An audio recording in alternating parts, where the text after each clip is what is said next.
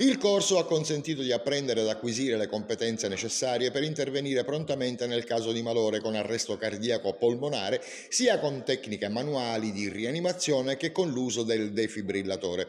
In presenza di emergenze sanitarie, infatti, durante le escursioni col CAI, ma anche nella vita di tutti i giorni, può capitare di dover prendersi cura di persone che accusano malori e bisogna intervenire prontamente per soccorrerli. Il corso ha avuto l'obiettivo di aumentare significativamente le probabilità probabilità di sopravvivenza di coloro che vanno in arresto cardiaco e bisogna intervenire col defibrillatore oppure accusano altri malori. È stato finalizzato alla divulgazione della cultura del primo soccorso, l'insegnamento di poche e semplici manovre di BLS e l'utilizzo del defibrillatore che possono fare la differenza tra una morte certa e una speranza di vita. È stato rilasciato agli allievi attestato valido ai sensi della vigente normativa.